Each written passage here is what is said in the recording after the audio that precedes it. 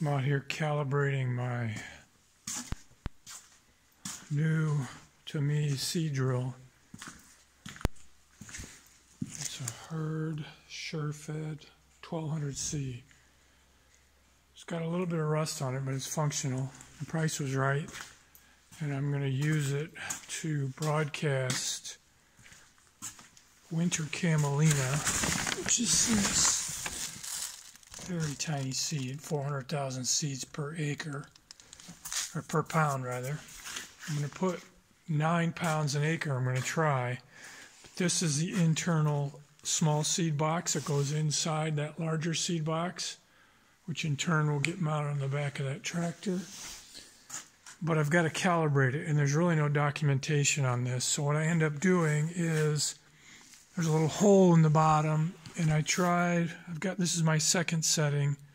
It's shut now you shove this lever over and uh, seed comes out the bottom. So if I shove this over right now I've got a 3 8 inch opening.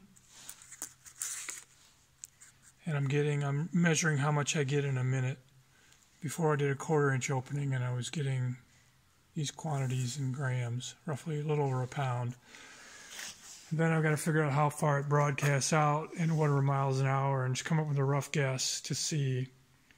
I've got 75 acres to put it on, but um, so this is what it looks like when it's running. So when I open it, the camelina comes out like that.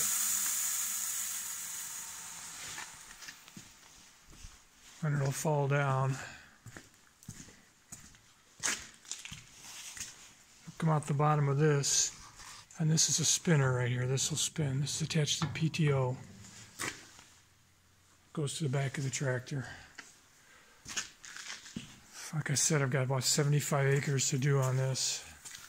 Um, and we'll see how it goes. Um,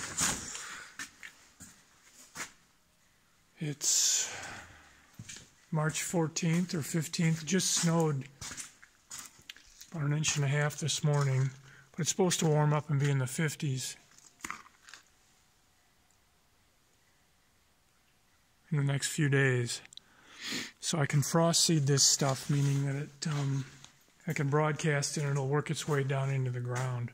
But it's a theory to put on my corn stubble, um, and then that will get um, flail mowed right at the end of May. And I'll disc it, and then I'll plant my soybeans on this. So that's well, that's the plan. Um, in the meantime, thanks for uh, checking in. We'll we'll see you on the next one. Bye.